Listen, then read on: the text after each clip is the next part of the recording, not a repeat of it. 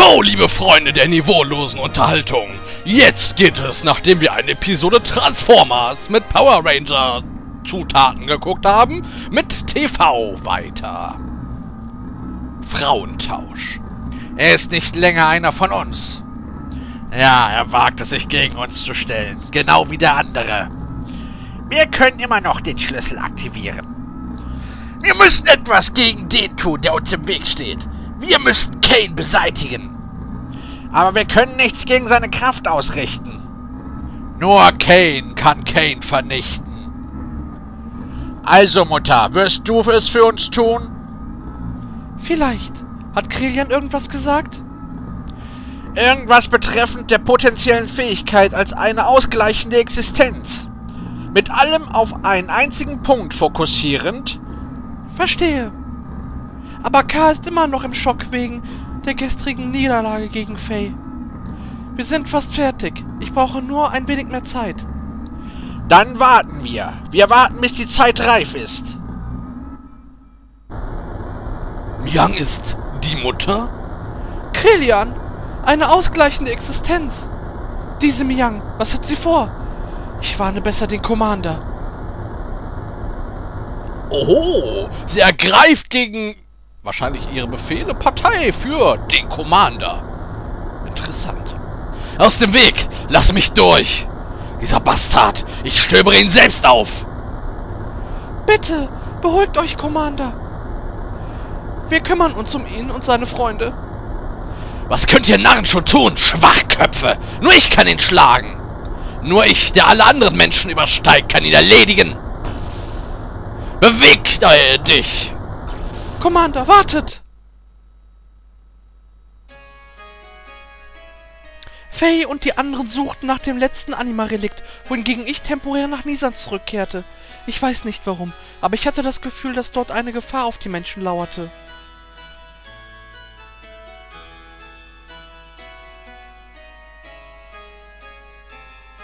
Alle dort akzeptierten Menschen erholten sich langsam. Es gab immer noch die schweren Fälle, aber Tauras Nanomaschinen verbesserten sich von Tag zu Tag. Die Behandlungen wurden immer erfolgreicher und der Tag, an dem jeder seine wahre Form zurückgelangen würde, kam näher. Doch dann! Ein Beben, eine Explosion in Nissan und in der brennenden Flamme stand der goldene Omnigier. Es war Ramsus, der Faye aus der Reserve locken wollte. Der Sinn seiner Existenz stand auf dem Spiel. Die Nissan- und Shivat-Milizen, selbst Renk und seine Freunde aus Solaris konnten den Überfall nicht vereiteln. Die Menschen versteckten sich in der Kathedrale. Ramsus erledigte die Miliz und kam auf die Kathedrale zu. Er war ruiniert. Er hatte nur noch Faye im Kopf und ich stand vor ihm.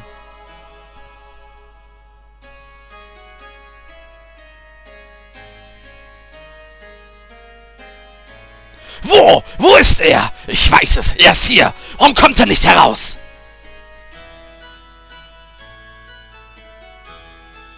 Ramsus! Der Fay, den du suchst, ist nicht hier! Also bitte stoppe diese sinnlose Gewalt!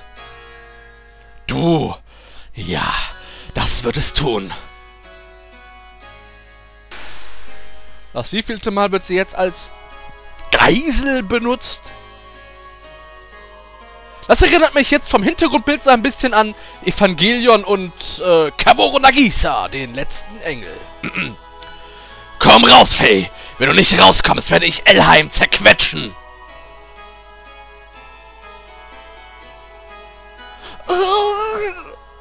Ellie!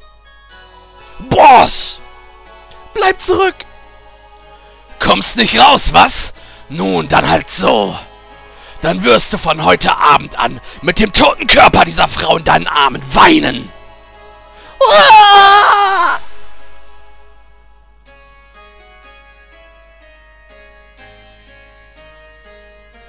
Wie? Was? Was ist passiert? Warum kann ich mich nicht bewegen? Ellie! Bist du okay? Wie, wie konnte ich gegen jemanden wie euch? N nein, nicht nur gegen ihn. Ich bin auch euch unterlegen. Ich! Was ist mit dir passiert, Ramsus? Warum bist du so Fanatin, Faye? Warum ist es so wichtig für dich, wer überlegener ist? Ich wurde ursprünglich erschaffen, um die personifizierte Integration aller menschlichen Fähigkeiten zu sein, um mit allen Anima-Relikten synchronisieren zu können. Ich wurde erschaffen, um Kräfte zu erlangen, die denen von Imperator Kane gleichen. Du könntest sagen, ich sollte die ideale Form werden, nach der alle Menschen streben. Wie auch immer. Ich als, gebo als ich geboren wurde, wurde ich abgewiesen. Ich wurde in einen Müllhaufen geboren. Geboren in der Dunkelheit. Kalter Abgrund der Wertlosigkeit.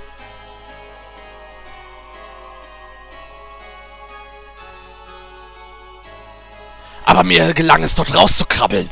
Ich konnte durch meine eigene Stärke überleben. Um alles zurückzubekommen, die mich verlassen hatten. Trotz dessen habe ich es geschafft, so weit zu kommen. Ich konnte mir selbst die Wärme bieten, die ich zum Überleben brauchte. Aber dann kam er und griff wieder einmal in mein Leben ein. Er wollte mir diese Wärme wieder wegnehmen. Solange er existiert, gehöre ich nirgendwo hin. Ich denke, nun verstehe ich, warum du so auf Faye fixiert bist. Du weißt nicht, was du momentan mit deinem Leben anfangen sollst. Du versuchst dich selbst zu schützen, indem du Faye angreifst.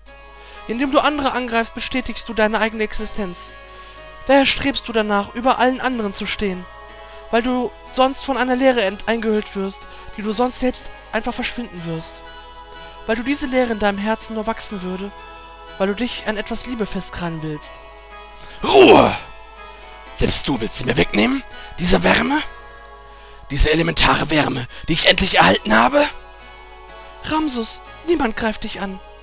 Niemand versucht dir wegzunehmen, was dir so viel bedeutet. Niemand bedroht deine Existenz. Das ist alles in deinem Kopf, also verstecke nicht deine Gefühle, die in deinem Herzen sind. Fürchte dich nicht für etwas Liebe.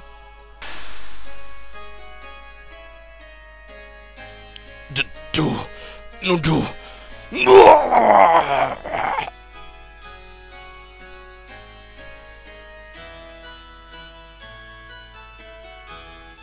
Ist wohl eine Hobbypsychologin, diese Ellie.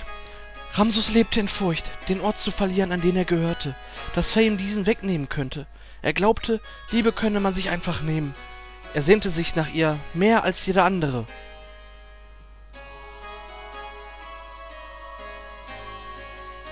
Also mehr als die Knaben, denen wir jetzt wieder begegnen, auf jeden Fall. Wertlos. Müll. Ausschuss. Warum überhaupt weiter existieren? Defekt. Verschwinde. Wir können dich nicht gebrauchen. Ha! Müll ist für uns wertvoller als du. Das nenne ich mal psychologische Kriegsführung. K, keine Sorge. Ich bleibe immer an deiner Seite. Niemand kennt dich besser als ich. Also. Miang! Ist dies, ist dies alles, was ich tun kann? Ist dies das Äußerste meiner Kraft und meiner Fähigkeiten? Ich konnte ihn nicht schlagen. Und vor dieser Frau konnte ich gar nichts. Ist dies die Grenze meiner Existenz, meiner Fähigkeiten?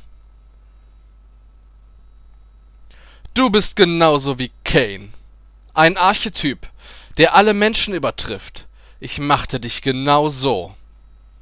Aber er ist derjenige, der dich davon abhält, deine Kräfte vollständig zu entfalten.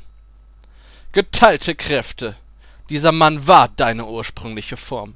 Das überlegene Urwesen. Wenn du ihn besiegen könntest, dann würdest du. Ja. Selbst mit deiner überlegenen Konstitution, die Existenz deiner ursprünglichen Form behindert dich. Wenn du die geteilte Kraft eliminieren könntest, dann wäre sie ganz die deine. Stimmst du mir zu, K? So mies diese zwei, Krillian und Miang. Falls für die, die es noch nicht verstanden haben. Ramsus ist sozusagen ein Klon von Imperator Kane. Und der einzige, der Imperator Kane besiegen kann, weil er so viel Kraft und Macht besitzt, ist quasi er selber. Nach der Harmonisierung mit dem ersten Anima-Relikt mit Billy änderten sich die Struktur und die Erscheinung seines Gears. Sie schmolzen als Einheit zusammen. Wir hatten keinen Schimmer, wofür diese Relikte erschaffen worden sind. Aber es war offensichtlich, dass sie als Waffe dienen sollten. Weil in diesem Spiel alles als Waffe dient, was unerklärlich ist. Irgendwann wird ihre wahre Kraft freigesetzt. Also dürfen die Feinde sie nicht in die Finger bekommen. Für das letzte Relikt suchten wir fast 10.000 Jahre alte Ruinen auf. Die Überbleibsel der ersten Zivilisation dieses Planeten.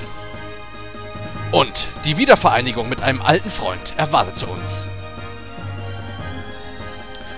Ja, und deswegen gaukeln ähm, Gedöns und Supergedöns, wie heißen sie noch gleich, ähm, Miang und Krelian ihm diese Geschichte mehr oder weniger vor. So, ich habe Maria schon lange nicht mehr benutzt, deswegen werde ich entgegen meiner Aufzeichnungen eine andere Truppe verwenden, die ich, ähm, ja, in meinen Aufzeichnungen quasi verwendet habe. Und das aus einem bestimmten Grund. Ich brauche Openes Maximalis.